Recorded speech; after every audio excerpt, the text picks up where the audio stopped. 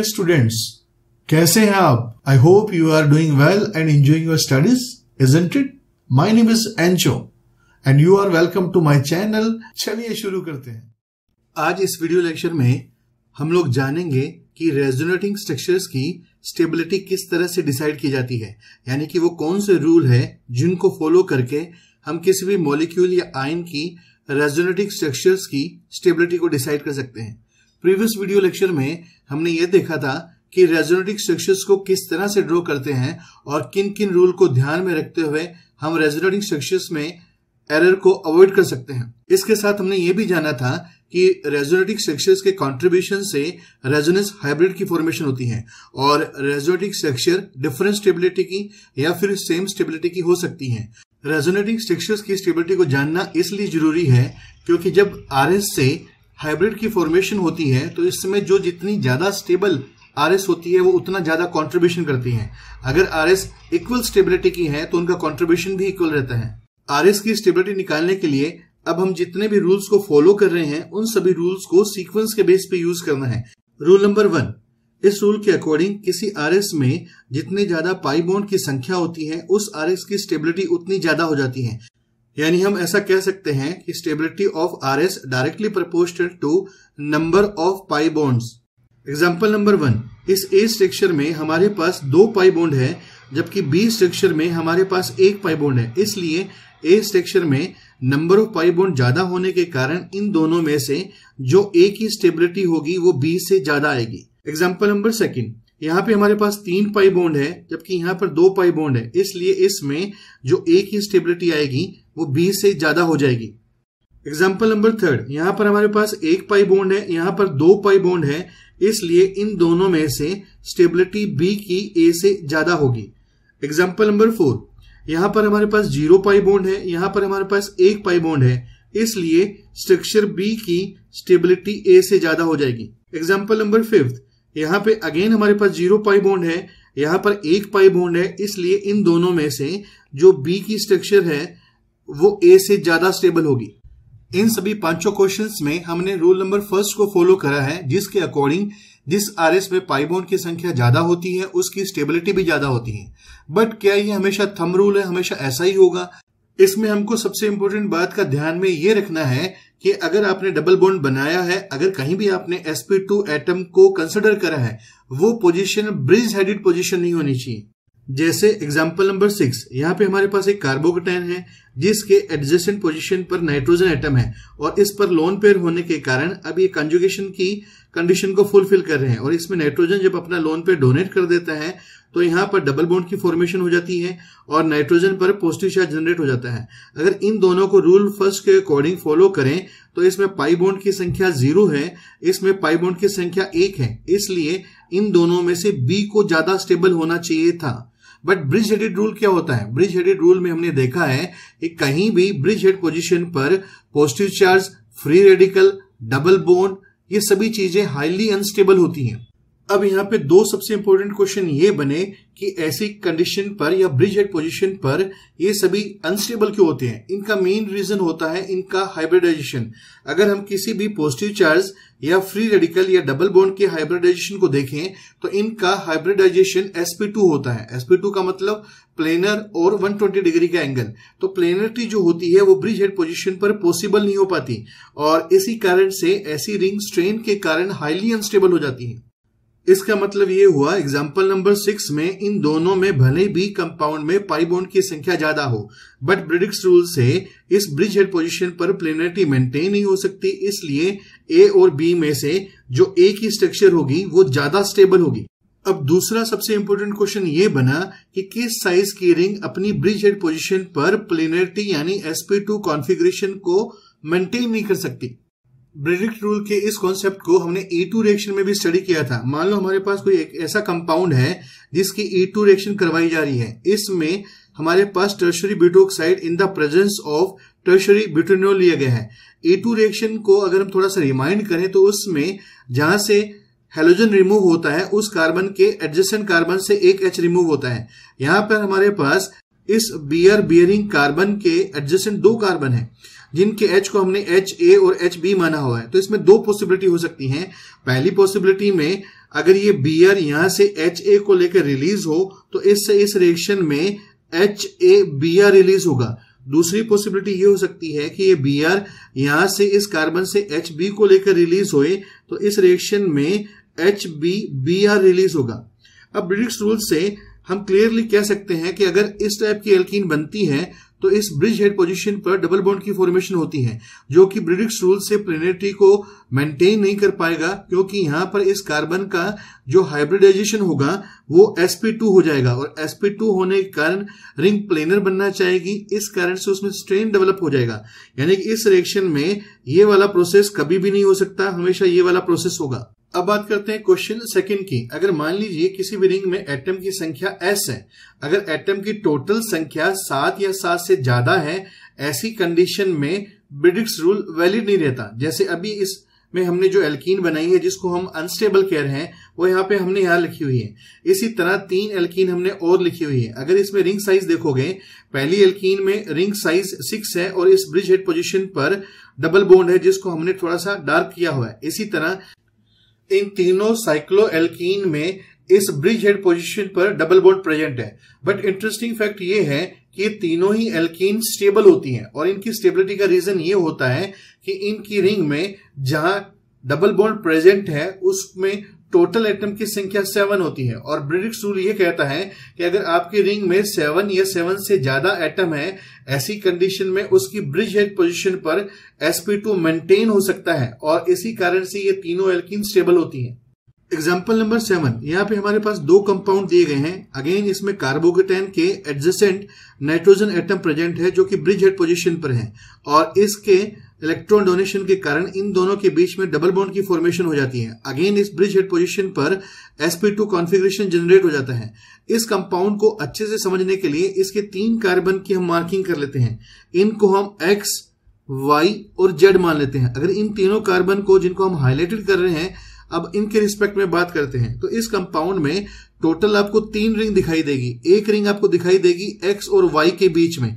ये जो रिंग होगी, इसमें टोटल एटम छह होंगे। इसी तरह दूसरी रिंग आपको दिखाई देगी वाई और जेड के बीच में। अगर इसमें टोटल एटम देखें तो इसमें भी अगेन सिक्स एटम होंगे।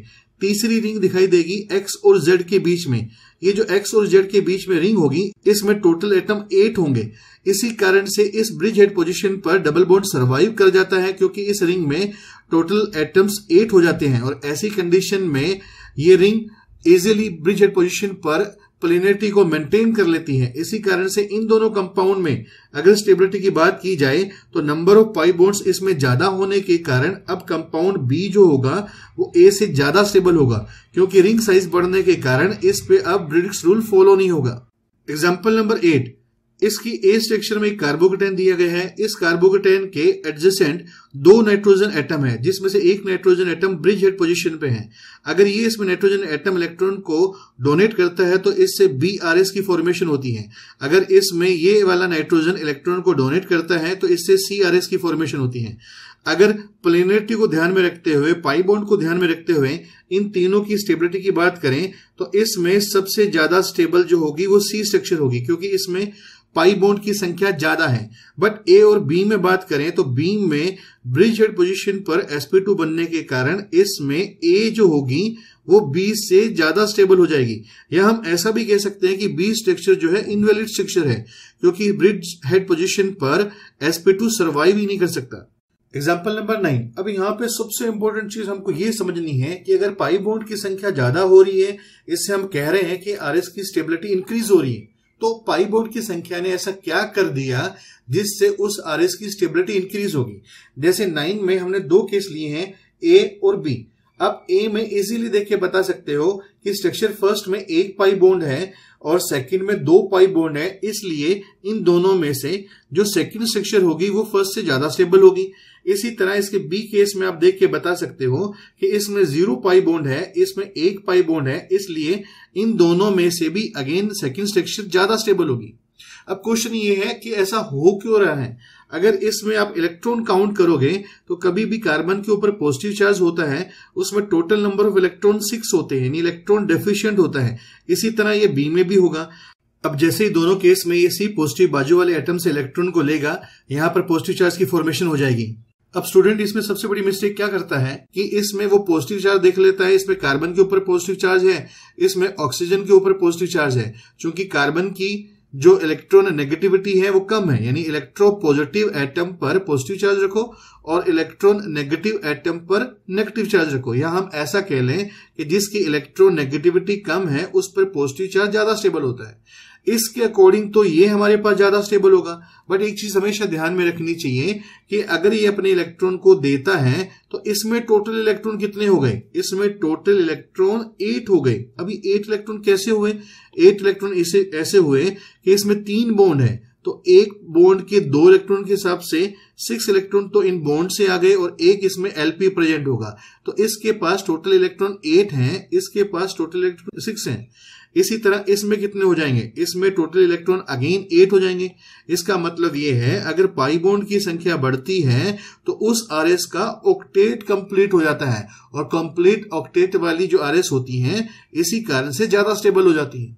इस ऑक्टेट के कॉन्सेप्ट को हम एग्जांपल नंबर टेन से भी समझ सकते हैं। यहाँ पे हमारे पास एक कंपाउंड है जिसमें एक पाई बॉन्ड है बी कंपाउंड में हमारे पास दो पाई बॉन्ड है। नो no डाउट इसमें बी कंपाउंड ज़्यादा स्टेबल होगा बट इसका रीजन ये होगा कि इसमें बी कंपाउंड का ऑक्टेट पूरा हो रहा है, क्योंकि बी कंपाउंड में ये जो बोरोन है, ये टेक्निकली कार्बोकेटाइन के सिमिलर होता है।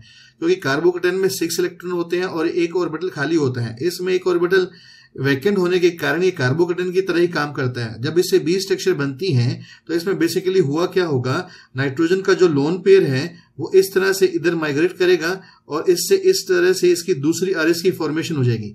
इस आरएस में इन दोनों का ऑक्टेट पूरा हो जाएगा और इसी कारण से इन दोनों में से जो बी की स्टेबिलिटी होगी, वो ज़्यादा आएगी। अब मान लो मॉलिक्यूल में पाइबोन की संख्या इक्वल है, तब जाके हमको रूल नंबर सेकंड कंसिडर करना है। इस रूल के अकॉर्डिंग अगर दो आरएस में पाइबोन की संख्या इक्वल हो, ऐसी कंडीशन में न्यूट्रल आरएस चार्ज आरएस से ज़्यादा स्टेबल होती है। जैसे एग्ज़ाम्पल नंबर इलेवन और एग्ज़ाम्पल नंबर ट्वेल्व यहाँ पे हमारे पास दो कंपाउंड ए और बी गिवन है। ए में एक पाई बॉन्ड है, इसी तरह बी में भी एक पाई बॉन्ड है। बट ए हमारे पास न्यूट्रल है, इसमें किसी भी तरह का कहीं भी चार्ज नहीं है, जबकि बी हमारे पास चार्ज वाली आरएस है। इसी तरह एग्ज़ाम्पल नंबर ट्वेल्व में फ़र्स्ट कंपाउंड यानी ए न्यूट्रल है, जिसमें तीन पाई बॉन्ड है, इसी तरह बी कंपाउंड चार्ज है, और इसमें भी तीन पाई बॉन्ड है। यानी कि इन एग्जांपल्स में पाई बॉन्ड की संख्या सेम है, इसीलिए न्यूट्रल और चार्ज की जब हम आपस में कंपैरिजन करते हैं तो इसमें से चार्ज स्ट्रक्चर लेस स्टेबल होती है। यानी इलेवंथ में स्ट्रक्चर ए जो होगी, वो बी से ज़्यादा स्टेबल होगी। इसी तरह ट्वेल्व में भी स्ट्रक्चर ए बी से ज़्यादा स्टेबल होगी। Rule number third rule number third जब आपको कंसिडर करना है, जब आरएस में पाई बॉन्ड की संख्या और चार्ज दोनों इक्वल हो जाए, ऐसी कंडीशन में रूल थर्ड को फॉलो करा जाएगा। रूल थर्ड में हमको दो चीज़ों को ध्यान में रखना है। पहला इसमें है इलेक्ट्रोनेगेटिविटी का और दूसरा इसमें है पोलराइजेबिलिटी का। अब इलेक्ट्रोनेगेटिविटी कब देखनी है और पोलराइजेबिलिटी कब देखनी है? अगर आपके पास आरएस में जो एटम इन्वॉल्व है, वो एक पीरियड के हैं यानी कि आप left to right periodic table में मूव कर रहे हैं, जैसे कार्बन नाइट्रोजन ऑक्सीजन तो ऐसी कंडीशन में लेफ़्ट टू राइट जाने पर इलेक्ट्रोनेगेटिविटी इंक्रीज हो जाती है। अगर ऐसे एलिमेंट इन्वॉल्व हैं तो जिसकी इलेक्ट्रोनेगेटिविटी ज़्यादा होती है, उसके ऊपर नेगेटिव चार्ज रखेंगे। और जिसकी इलेक्ट्रोनेगेटिविटी कम होती है, उसके ऊपर पॉजिटिव चार्ज रखा जाएगा। इसी तरह अगर आपकी अरेस में ऐसे एटम इन्वॉल्व है जो किसी ग्रुप के मेंबर हैं तो ऐसी कंडीशन में इलेक्ट्रॉन नेगेटिविटी से ज़्यादा डोमिनेट उसका साइज़ हो जाता है और इसमें पोलराइजेबिलिटी कंसिडर की जाएगी। जिस एटम का साइज़ जितना बड़ा होगा, उस पर नेगेटिव चार्ज उतना आसानी से स्टेबल होगा। क्योंकि एटम का साइज़ बड़ा होने के कारण उसका जो सरफेस एरिया होगा, वो भी इंक्रीज हो जाएगा और उस पे नेगेटिव चार्ज इजीली डिस्पर्स हो जाएगा। इसके अलावा इन दोनों का एक मिक्स केस भी बनाया जा सकता है, यानी आपके पास ऐसे एटम इन्वॉल्व है जो पीरियड और ग्रुप दोनों के हैं। ऐसी कंडीशन में साइज़ का जो इफ़ेक्ट होता है, यानी पोलराइजेबिलिटी जो होती है, वो इलेक्ट्रोनेगेटिविटी पर डोमिनेट होती है। एग्ज़ाम्पल नंबर थर्टीन इन दो आर एस ए और बी में अगर हम देखें तो नंबर ऑफ़ पाइबोन्ड की संख्या सिमिलर है और दोनों ही हमारे पास चार्ज आर एस है। ऐसी कंडीशन में इनमें रूल थर्ड फॉलो किया जाएगा। इसका मतलब ये हुआ, इन दोनों आरएस में या तो हमें इलेक्ट्रोनेगेटिविटी के कॉन्सेप्ट को यूज़ करना होगा, या फिर पोलराइजेबिलिटी के कॉन्सेप्ट को यूज़ करना पड़ेगा। क्योंकि इसमें कार्बन नेगेटिव और ओ नेगेटिव इन्वॉल्व है, और ये दोनों एक पीरियड के एलिमेंट है। ऐसी कंडीशन में हमको इलेक्ट्रॉन नेगेटिविटी कंसिडर करना पड़ेगा। अगर कार्बन और ऑक्सीजन की इलेक्ट्रॉन नेगेटिविटी को देखें तो ऑक्सीजन की इलेक्ट्रॉन नेगेटिविटी कार्बन से ज़्यादा होती है। इसलिए ऑक्सीजन अपनी इलेक्ट्रोनेगेटिविटी के कारण नेगेटिव चार्ज को अच्छे से होल्ड कर पाता है और इसीलिए इन दोनों में से जो स्ट्रक्चर बी होती है, उसकी स्टेबिलिटी ए से ज़्यादा जाती है। बिल्कुल सिमिलर कॉन्सेप्ट को हम एग्जांपल नंबर 14 में भी यूज़ कर सकते हैं। इन दोनों आरएस में पाइबोन्ड की संख्या सिमिलर होती है, दोनों में दो पाइबोन्ड होते हैं और दोनों ही हमारे पास चार्ज आर एस है। और अगर इनके एटम को देखें तो इसमें सीन एक्टिव है, इसमें एन एक्टिव है। ये एक पीरियड के एलिमेंट होने के कारण इलेक्ट्रोनेगेटिविटी को कंसिडर किया जाएगा। एन की इलेक्ट्रोनेगेटिविटी कार्बन से ज़्यादा होने के कारण इस आरएस में बी जो होगी, वो ए से ज़्यादा स्टेबल होगी। एग्ज़ाम्पल नंबर 15 इन दोनों आरएस में पाई बॉन्ड की संख्या सिमिलर है और दोनों ही हमारे पास चार्ज आर एस होती हैं। अगर इसमें इन्वॉल्व एटम को देखें, इसमें सल्फ़र है और इसमें ऑक्सीजन है। ये दोनों ग्रुप के एलिमेंट होते हैं। और ग्रुप के एलिमेंट में और स्पेशली ग्रुप 16 और 17 के एलिमेंट में हमेशा साइज़ के फैक्टर को इलेक्ट्रॉन नेगेटिविटी से डोमिनेट माना जाएगा। चूँकि सल्फ़र का साइज़ ऑक्सीजन के साइज़ से बड़ा होता है और साइज़ बड़ा होने के कारण सल्फ़र का सरफेस एरिया बढ़ जाता है और बड़े सरफेस एरिया पर ही अपने चार्ज को बहुत आसानी से डिस्पर्स कर सकता है। इसीलिए इन दोनों आरएस में से ए की स्टेबिलिटी बी से ज़्यादा होगी। एग्ज़ाम्पल नंबर 16 अगर इनका मिक्स केस बना दिया जाए जिसमें पीरियड के एलिमेंट के साथ साथ ग्रुप के एलिमेंट हो, ऐसी कंडीशन में नेगेटिव चार्ज हमेशा लार्जर एटम पर स्टेबल होता है। इसके बाद हमको इलेक्ट्रॉन नेगेटिविटी कंसिडर करनी पड़ेगी। इस बेस पे इसमें सबसे ज़्यादा स्टेबल ए होगा देन स्टेबिलिटी बी की आएगी, और सबसे लिस्ट स्टेबल इसमें सी हो जाएगा। इसमें सी लिस्टेबल इसलिए हुआ है क्योंकि इसमें एस नेगेटिव नहीं है। इसी तरह अगर ए और बी की फाइट करें एस नेगेटिव दोनों में कॉमन है। अब हमको इलेक्ट्रॉन नेगेटिविटी देखनी है। ओ नेगेटिव एन नेगेटिव से ज़्यादा स्टेबल है। इसलिए इन दोनों में एस नेगेटिव कॉमन चला गया। ओ नेगेटिव ज़्यादा स्टेबल होने के कारण ए मोस्ट स्टेबल हो जाएगा। तो अभी हमने देखा कि ओ नेगेटिव और एन नेगेटिव में से ओ नेगेटिव ज़्यादा स्टेबल होता है। इसी तरह ओ नेगेटिव एस नेगेटिव में से एस नेगेटिव ज़्यादा स्टेबल होता है। अगर मान लीजिए हमारे पास कोई ऐसा केस है जिसमें पॉजिटिव चार्ज रखा हुआ है तो इस कॉन्सेप्ट को बिल्कुल रिवर्स कर देते हैं। यानी कॉन्सेप्ट हमारे पास क्या है? जिसकी इलेक्ट्रॉन नेगेटिविटी ज़्यादा है, उस पर नेगेटिव चार्ज रखो। जिसकी इलेक्ट्रॉन नेगेटिविटी कम है, उस पर पॉजिटिव चार्ज रखो। अगर मान लीजिए एग्ज़ाम्पल 17 हमारे पास है तो इसमें दो आरएस हमारे पास है। दोनों में पाई की संख्या कॉमन है और दोनों ही हमारे पास चार्ज आरएस है। ऐसी कंडीशन में फ़र्स्ट में ओ के ऊपर पॉजिटिव है, दूसरी में एन के ऊपर पॉजिटिव है। तो जिसकी इलेक्ट्रोनेगेटिविटी कम हो, उसके ऊपर पॉजिटिव चार्ज ज़्यादा स्टेबल होता है। क्योंकि एन की इलेक्ट्रोनेगेटिविटी ओ के कंपैरिजन में कम है, इसलिए एन पॉजिटिव ओ पॉजिटिव के कंपैरिजन में ज़्यादा स्टेबल होगा। तो इन दोनों में से बी की स्टेबिलिटी ए से ज़्यादा आ जाएगी। इसी तरह एग्ज़ाम्पल नंबर एट में टोटल हमारे पास four R S A B C D given है। अगर हम ए आर एस की बात करते हैं तो इसमें ज़ीरो पाई बॉन्ड है, जबकि बी में सी में और डी में, इन आर एस में एक एक पाई बॉन्ड है। यानी एक चीज़ तो इसमें कंफर्म हो गया कि जो ए आर एस है, उसकी स्टेबिलिटी सबसे लिस्ट होगी, क्योंकि इसमें पाई बॉन्ड की संख्या ज़ीरो है। अब बात करते हैं बी सी डी क्योंकि इनमें पाई बॉन्ड की संख्या सिमिलर है और सभी चार्ज आर एस है। अब हमको पाई बॉन्ड की संख्या के अलावा ये भी देखना पड़ेगा कि इसमें चार्ज किस एटम पे है। इस पे चार्ज फ्लोरीन पे है, इस पे पॉजिटिव चार्ज ऑक्सीजन में है और इस पे पॉजिटिव चार्ज नाइट्रोजन में है। अगर इनकी इलेक्ट्रॉन नेगेटिविटी को देखें तो इलेक्ट्रॉन नेगेटिविटी जो है, इसमें सबसे ज़्यादा फ्लोरीन की है, फिर ऑक्सीजन की है और फिर सबसे कम नाइट्रोजन की है। इसका मतलब ये हुआ, जिसकी इलेक्ट्रॉन नेगेटिविटी कम है, उस पर हमेशा पॉजिटिव चार्ज स्टेबल होता है। इसलिए अब इन तीनों में सबसे ज़्यादा स्टेबल डी होगा, उसके बाद हमारे पास सी होगा और देन हमारे पास बी होगा। रूल नंबर फोर इस रूल के अकॉर्डिंग अगर हमारी आर में अपोजिट चार्ज है तो वो आरएस ज़्यादा स्टेबल होगी, जिसमें ये चार्ज पास से पास होंगे। और किसी में सेम चार्ज है तो वो आरएस ज़्यादा स्टेबल होगी, जिसमें दूर से दूर होंगे। इस पूरी कंडीशन को हम इस तरह से डिस्क्राइब कर सकते हैं कि कहीं भी दो पॉजिटिव चार्ज या दो नेगेटिव चार्ज या दो एटम के लोन पेयर या पॉजिटिव चार्ज और minus M group negative charge और प्लस एम ग्रुप कभी भी दो एडजस्टेंट एटम पे नहीं होने चाहिए। जैसे एग्ज़ाम्पल नंबर 19 में सभी फैक्टर्स कॉमन है डिफरेंस सिर्फ़ इतना ही है कि इसमें दो अपोजिट चार्ज पास पास में है, जबकि इसमें दो अपोजिट चार्ज दूर है। इसलिए ए और बी में से पॉजिटिव चार्ज पास पास होने के कारण A R S B R S से ज़्यादा स्टेबल होगी। एग्ज़ाम्पल नंबर ट्वेंटी यहाँ पे हमारे पास दो आर एस है, दोनों में पाइबोन्ड की संख्या कॉमन है, दोनों में ही चार्ज स्पीसीज है। ऐसी कंडीशन में अगर हम फ़र्स्ट आर एस को देखें, इसमें नेगेटिव चार्ज और पॉजिटिव चार्ज दूर दूर है, जबकि सेकेंड आर एस में अपोजिट चार्ज यानी नेगेटिव और पॉजिटिव चार्ज पास पास है। इसीलिए इन दोनों आर एस में से जो आर एस बी होगी, उसकी स्टेबिलिटी ए से ज़्यादा होगी। एग्ज़ाम्पल नंबर ट्वेंटी वन में हमारे पास टोटल तीन आर एस ए बी और सी है। इसमें से एक चीज़ तो कंफर्म है कि आर एस ए की स्टेबिलिटी सबसे ज़्यादा होगी, क्योंकि ये न्यूट्रल आर एस है, जबकि बी और सी की स्टेबिलिटी ए से डेफिनेट कम होगी। अब बात करते हैं बी और सी की। बी में दो सेम चार्ज पास पास रखे हुए हैं, जबकि इसमें अपोजिट चार्ज पास पास रखे हुए हैं। इसलिए बी और सी में से बी की जो स्टेबिलिटी होगी, वो डिक्रीज हो जाएगी। तो इसका मतलब ये हुआ, इसमें से मोस्ट स्टेबल ए होगा देन सी होगा, और सबसे लीस्ट स्टेबल इसमें बी होगा। इन सभी रूल्स के अलावा आरएस की स्टेबिलिटी निकालते वक्त और ऐसे बहुत सारे फैक्टर्स हैं जो इंटरेस्टिंग और इम्पोर्टेंट रोल डेवलप करते हैं। जैसे number one linear conjugation versus cross conjugation linear conjugation और क्रॉस कंजुगेशन को हम रेजोनेंस के दौरान एक्सप्लेन कर चुके हैं। इनकी आपस में फाइट करते वक्त, यानी कंपैरिजन करते वक्त हमको ये देखना है पाई बोन्ड की संख्या कितनी है। जैसे फ़र्स्ट केस में हमारे पास दो एग्जांपल है और दोनों में पाई बोन्ड की संख्या सिमिलर है। इसमें लीनियर कंजुगेशन है जबकि इसमें क्रॉस कंजुगेशन है। अगर पाई बोन्ड की संख्या सिमिलर हो तो लीनियर कंजुगेशन की स्टेबिलिटी क्रॉस कंजुगेशन से ज़्यादा होती है। इसलिए इस केस में फ़र्स्ट स्ट्रक्चर ज़्यादा स्टेबल होगी।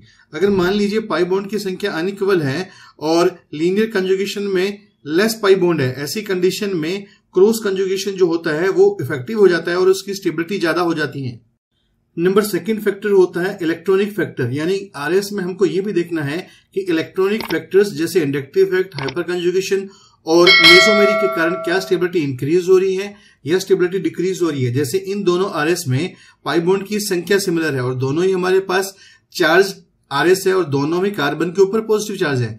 बट जो ए आर एस है, उसमें कार्बोकेटाइन जो है वो थ्री डिग्री है, जबकि बी में कार्बोकेटाइन वन डिग्री है। यानी ए में इन दो मिथाइल के सिक्स हाइड्रोजन के कारण इसमें सिक्स एल्फा एच का हाइपर कंजुगेशन इफ़ेक्ट प्रेजेंट होगा, जो कि बी में प्रेजेंट नहीं होगा। इसी कारण से इस हाइपर कंजुगेशन के इलेक्ट्रॉनिक फैक्टर के कारण ए और बी में से ए की स्टेबिलिटी बी से ज़्यादा हो जाएगी।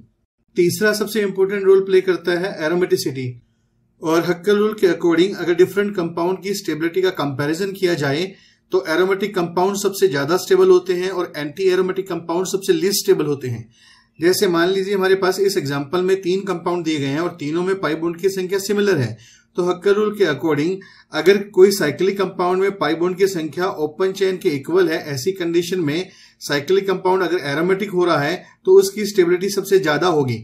इन तीनों में से सबसे ज़्यादा स्टेबल ए होगा, जबकि बी और सी में बी में लीनियर कंजुगेशन है सी में क्रॉस कंजुगेशन है। तो इसकी ओवरऑल स्टेबिलिटी की बात करें तो इसमें ए सबसे ज़्यादा स्टेबल देन बी और सबसे लिस्ट स्टेबल सी हो जाएगा। जैसे इस एग्ज़ाम्पल में, अगर फ़र्स्ट कंपाउंड पे हक्कर रूल को ऑपरेट करें तो इसकी रिंग में टोटल हमारे पास टू पाई इलेक्ट्रॉन होंगे। इसी तरह सेकेंड कंपाउंड की रिंग में टोटल फोर पाई इलेक्ट्रॉन का कंजुगेशन होगा। और हक्कर रूल के अकॉर्डिंग फ़र्स्ट कंपाउंड इसमें टू पाई इलेक्ट्रॉन के कारण एरोमेटिक होगा, जबकि सेकेंड कंपाउंड इसमें फोर पाई इलेक्ट्रॉन के कारण एंटी एरोमेटिक होगा। तो इन दोनों कंपाउंड की जो स्टेबिलिटी होगी, उसमें एक कंपाउंड की स्टेबिलिटी ज़्यादा आएगी क्योंकि ये एरोमेटिक है। तो गाइज़ आई होप इस वीडियो लेक्चर के थ्रू आपने आरएस की स्टेबिलिटी किस तरह से निकाली जाती है, किस तरह से उसके रूल्स की प्रायोरिटी डिसाइड की जाती है, ये बहुत अच्छे से समझा होगा। वीडियो के रेस्ट पार्ट में टोटल दो क्वेश्चन आपको दिए जा रहे हैं। जिसमें से फ़र्स्ट क्वेश्चन आपके डिवाइस की स्क्रीन पर डिस्प्ले है, जिसके टोटल 19 पार्ट्स हैं। इसी तरह से क्वेश्चन नंबर सेकंड को भी 19 पार्ट्स में बांटा गया है। इन दोनों क्वेश्चंस के स्क्रीनशॉट लेकर या वीडियो को स्लो डाउन करके इन सभी क्वेश्चंस को सोल्व करना है और फिर इनके आंसर्स को मैच करना है। यहाँ पे दोनों क्वेश्चंस के सभी पार्ट्स का आंसर दिया गया है आंसर को लिखते वक्त प्रिकॉशन रखा गया है फिर भी अगर कहीं भी आपको टाइपिंग एरर है या फिर कहीं भी आपका कोई भी डाउट है या वीडियो के रिगार्डिंग किसी भी एग्जाम्पल में आपका डाउट है तो आप कमेंट सेक्शन में कमेंट करके पूछ सकते हैं ਮੈਂ ਐਸੀ ਚੀਜ਼ ਕੋਈ ਬਣੀ ਮੂਡ ਜੱਟ ਦਾ ਵਿਗਾੜੇ ਯਾਰ ਮਹਿਫਲਾਂ 'ਚ ਬੈਠਾ ਪੈਗ ਯਾਰਾਂ ਨਾਲ ਚਾੜੇ ਕਰੋ ਮਾੜੇ ਹੋਣੇ ਆ ਪਰ ਦਿਲ ਦੇਣਾ